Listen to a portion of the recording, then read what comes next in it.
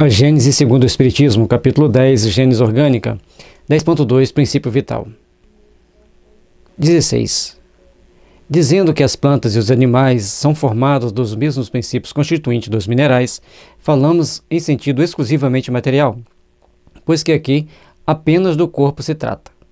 Então, ali estava falando do corpo material, a gente deu até umas pequenas palhinhas sobre a, a parte psíquica, mas agora ele vai falar um pouco mais sobre esse princípio vital. Sem falar do princípio inteligente, que é questão à parte, há na matéria orgânica um princípio especial, inapreensível, e que ainda não pode ser definido, o princípio vital. Ativo no ser vivente, esse princípio se acha extinto no ser morto, mas nem por isso deixa de dar à substância propriedades que as distingue das substâncias inorgânicas. Então, todo princípio, toda vida, todo material orgânico, toda vida tem um princípio vital que lhe mantém a vida, que lhe mantém os estilos de conservação, reprodução, crescimento e a vitalidade dessa, desse corpo. A química que decompõe e recompõe a maior parte dos corpos inorgânicos também conseguiu decompor os corpos orgânicos, porém jamais chegou a reconstituir sequer uma folha morta, prova evidente de que há nestes últimos o que quer que seja inexistente nos outros. Portanto, a química pode fazer várias transformações nos corpos inorgânicos, compor, decompor, recompor, mas nos corpos orgânicos ela só consegue decompor, não consegue recompor nenhuma folha morta. Não há como recompor alguma coisa, algum corpo orgânico mantendo vida nele. Ele sempre vai se deteriorar. A partir do momento que ele não tem mais essa, esse princípio vital, ele se deteriora. 17. Será o princípio vital alguma coisa particular que tem existência própria? Ou integrado no sistema da unidade do elemento gerador, apenas será um estado especial, uma das modificações do fluido cósmico, pela qual este se torne princípio de vida, como se torna luz, fogo, calor e eletricidade? Neste último sentido, que as comunicações acima reproduzidas resolvem a questão. Aí ele fala lá da questão, capítulo 6, uranografia geral. Portanto, tem, tudo tem alguma coisa. Então, o princípio vital é alguma coisa particular da existência própria? Ou que é o princípio vital? Então, ele vem trazendo para a gente, será um estado especial, uma das modificações do fluido cósmico, pela qual este se torne princípio de vida, como se torna luz, fogo, calor, eletricidade? Então, esse princípio vital, por Kardec, ele é um, uma energia, vamos dizer assim, uma vibração e um fluido, né?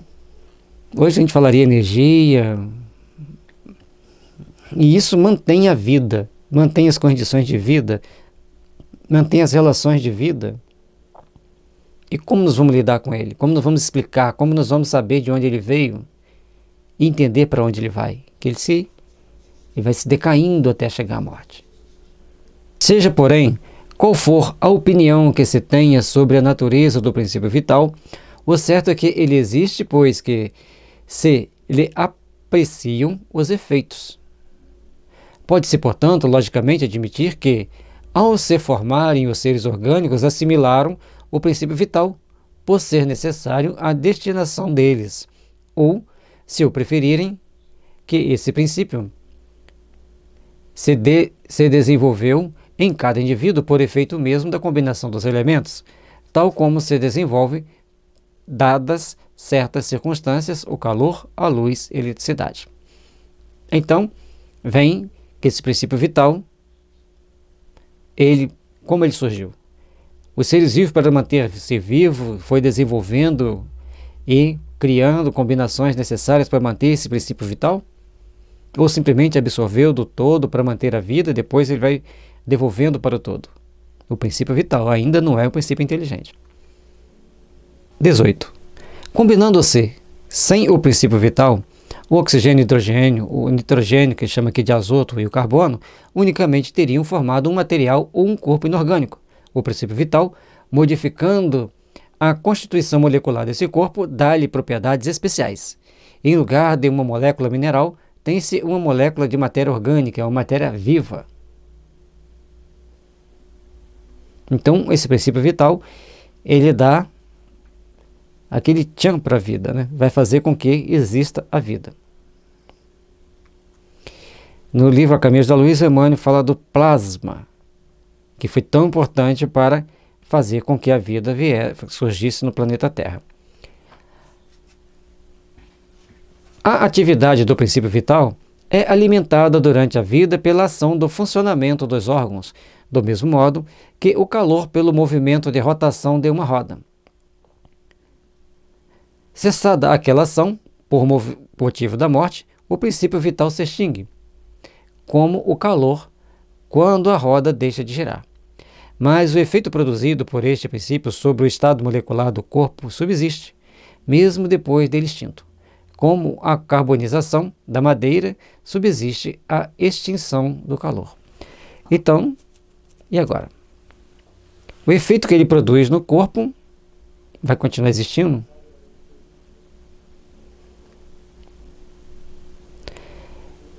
Aí você queima a madeira, ali o carvão vai continuar com calor por um tempo. Na análise dos corpos orgânicos, a química encontra os elementos que os constituem: oxigênio, hidrogênio, azoto, que é o nitrogênio, e carbono. Mas não se reconstitui aqueles corpos porque já não existe a causa. Não lhe é possível reproduzir o efeito, ao passo que é possível lhe é reconstituir uma pedra. Então, pode reconstituir uma pedra, mas não dá para reconstituir um corpo orgânico. Então ele coloca e esse efeito, como que é? O efeito do princípio vital, aquele corpo físico, mesmo ele sendo extinto, aquele corpo vai continuar morto, mas vai continuar. Ele vai passar pelo processo de decomposição com o tempo, mas por um certo tempo ele vai estar ali existindo. Portanto, esse princípio vital ele cria uma condição e mantém essa condição por um certo tempo. 19. Tomamos para termo de comparação o calor que se desenvolve pelo movimento de uma roda, por ser um efeito vulgar que todo mundo conhece, e mais fácil de compreender-se, mais exato, no entanto, houvéramos sido dizendo que, na combinação dos elementos para formarem os corpos orgânicos, desenvolve-se eletricidade. Então, para formar um corpo orgânico, todo o processo tem que desenvolver também uma eletricidade. É uma hipótese. Então vamos ver. Os corpos orgânicos seriam, então, verdadeiras pilhas elétricas que funcionam enquanto os elementos dessas pilhas se acham em condições de produzir eletricidade. É a vida. Que deixam de funcionar quando tais condições desaparecem. É a morte.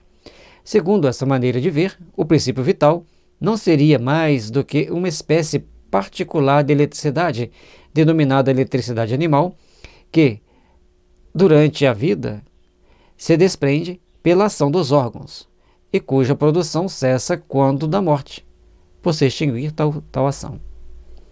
Então, é um, um processo que ele está mostrando, uma possibilidade em que as células vão produzindo uma eletricidade, essa eletricidade seria então uma espécie de princípio vital que, enquanto tem as condições de produzir essa eletricidade, mantém a vida. No dia que não tem mais condições de produzir essa eletricidade, extingue-se a vida. Com isso, dentro dessa teoria, nós vamos entender que, enquanto for mantidas as condições de vitalidade, ou seja, das células conseguirem produzir essa eletricidade, nós vamos mantendo a vida. Mais ou menos, tem alguma coisa a ver, mas não é só isso. Aí tem um 109 ali com relação à ação dos órgãos. Nota da editora. Hoje sabemos que se refere às células. O metabolismo celular, na troca iônica da bomba de sódio e potássio, produz uma diferença de potencial elétrico, ou seja, produz eletricidade animalizada, pois que é realizada por um ser vivo, a célula.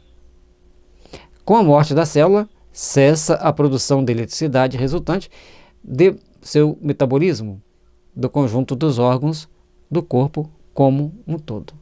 Então, quando você tem esse padrão, esse conjunto de ações funcionando, essa eletricidade está sendo produzida e mantém a vida. Cessou, a célula não vai ter vida e ela vai ter que ser eliminada do corpo ou todo o corpo vai ser eliminado.